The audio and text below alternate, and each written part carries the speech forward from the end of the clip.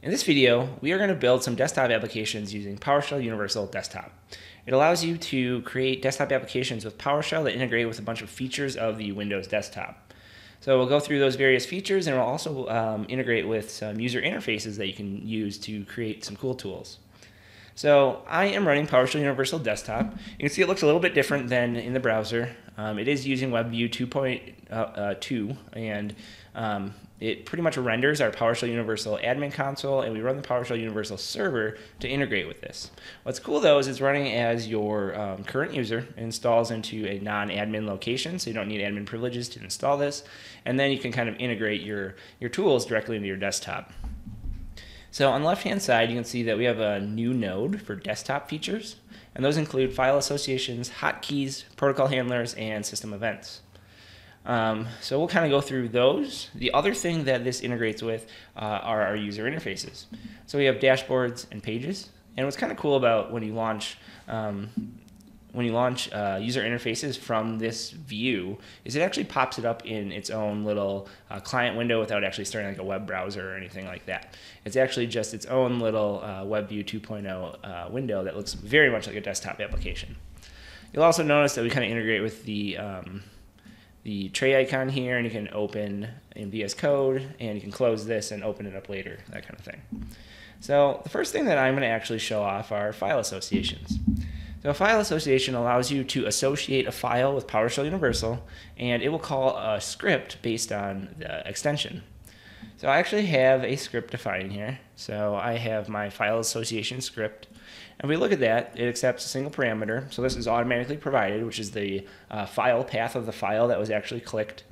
And then what I'm going to do is I'm going to call get content uh, for that file, convert from JSON, and then I'm going to write host the JSON. So I actually have a um, myfile.ps3 right here. And it just has some JSON that has a single property that says say and then hello world.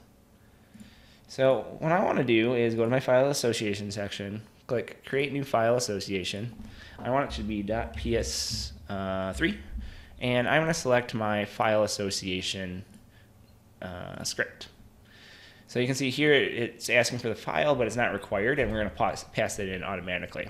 So if I click OK, now I have uh, this file associ associated with PowerShell Universal, and it's going to automatically launch your PowerShell script when you open a file of that type. So if I actually go here, you can see I have uh, my file, that PS3. And if I double click that, you're not going to see anything happen. But if we go back to PowerShell Universal um, and we go to jobs, you can see the file association was just run a few seconds ago. And if we open that, you can see it said hello world. So it got the file name, it parsed the JSON, and then it printed out using write host. So you can do all kinds of things with this. You know, you can associate any kind of file, process it how you like. You can launch other apps, that kind of thing. All right, now let's talk a little bit about hotkeys. So hotkeys allow you to um, bind uh, Windows hotkeys to um, scripts. So if you look at the create hotkey button here, uh, we have keys. So you can select a key like S, and then you can select a modifier like Alt. And then from there, you can specify a script. So I'll select my hotkey script. And here I actually have a pages variable, and I'm going to say my services page. So that was that uh, dashboard that I showed earlier. I'll say OK. So now my hotkey is bound to Alt S. And if I hit Alt S, you're going to see that it actually pops up my services. Uh, one thing you'll notice is that even if you leave PowerShell Universal, this is a global hotkey. So if I hit Alt S, it's actually going to pop that up anywhere I am. So uh, it's just going to start multiple versions of that every time I press that hotkey. And the way that that particular um, script works, if we go to scripts, uh, hotkey, I accept a single uh, parameter, which is the uh, page parameter. And then I'm using our new commandlet, which is show PSU page. And this is just for uh, PowerShell Universal Desktop. And the idea being that you can put this in any one of your scripts, and then it will automatically show the page um, based on the URL you provide. So I, I just provided the name of the page, so it just assumes that it's being run by PowerShell Universal. Uh, if you include a full URL, it'll actually um, point you to that as well. All right, so the next thing I want to look at uh, is protocol handlers. So a protocol handler allows you to define a custom protocol. So you may or may not know what this is, but like a lot of things use them. So Zoom uses them, and WebEx or um, VS Code. And the idea is that the custom protocol is typically launched from a website and it causes a local application to run. So if you have the custom protocol handler um, defined, you could have a link on a website. It would launch that uh, application on the user's desktop and they'd have to like, you know, allow it to happen. Um, but once that happens, what is it actually going to do inside PowerShell Universal is run a script. So I have a uh, protocol handler script here, uh, just called protocol.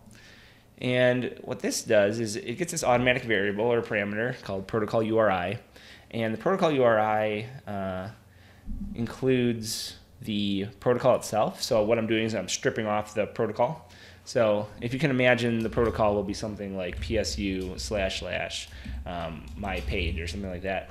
And I'm just trying to get the page name. So again, I'm going to show a page uh, if I click a um, protocol link. And I'm going to click the protocol link from a web browser, and it's going to launch a window from PowerShell Universal locally. Um, so I need to register my protocol handler. So if I go to desktop, protocol handlers, uh, I want the PSU protocol, and I want to launch the uh, protocol script. So I don't have to fill in protocol URI because it's automatically going to be filled in, and I'm going to click uh, OK. So now I have my protocol defined. Um, and now, whoops, I'm going to go to a web browser. So this is outside PowerShell Universal uh, Desktop, and it's just my uh, launch um, my launch page. So you can imagine this is just a link that you could have. You could have a bunch of links that launch different tools and that kind of thing. Uh, but I just have this launch my page. And if you look in the bottom left corner, you can actually see the URL there is psu uh, colon slash slash services. So what that's actually going to do is it's going to launch my uh, services uh, dashboard. So let's go to the browser and we'll click that. And it's going to ask me uh, whether or not I want to open this. And if you allow this, it won't ask you anymore. And it's kind of similar to what Zoom does. And now you can see it launched a local application. So this web application could be running somewhere else. It doesn't have to be running on your local machine. I have it running on my local machine, but this kind of integration allows you to kind of direct a user to launch a local application. They'd already have to have it installed, but um, this allows you to you know trigger that locally. All right, so now let's look at uh, system events. So a system event is actually currently just a WMI event.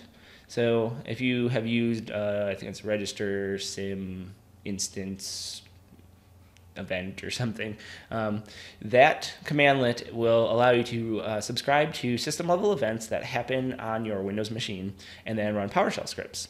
So this is a similar concept except it's integrated into uh, PowerShell Universal. So what I want to do is I'm going to create a system event that uh, listens for PowerShell processes starting, and then I'm going to show a burnt toast notification. So if we go to my automation scripts, I have a system event already set. And if I go here, you can see I have a new burnt toast notification. Um, and I'm just going to say PowerShell started, and then I'm going to list out the target instance. So that target instance will have properties like the uh, process ID and the name of the process and all kinds of stuff. Um, and that's passed in automatically from our system event integration.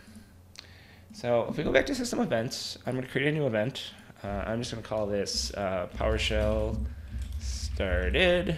And the event type is create. So when, you know, there's lots of like classes you could subscribe to here. Um, and the pretty much the categories of events are create, delete, modify. For process, a create is like it started the process. A delete is like it deleted the process, and I'm not really sure what a, a modify of a process is, but all right. So now um, let's set our uh, condition here. So the condition is uh, like a WMI um, selector. So I have that in another document, so I don't have to try to remember. But uh, think I might actually have to fix this up. It's got some extra backticks in it. All right, so what this is doing is it's saying the target instance is a Win32 process, and the target instance name is pwsh.exe. And when that happens, I want to uh, do my system event.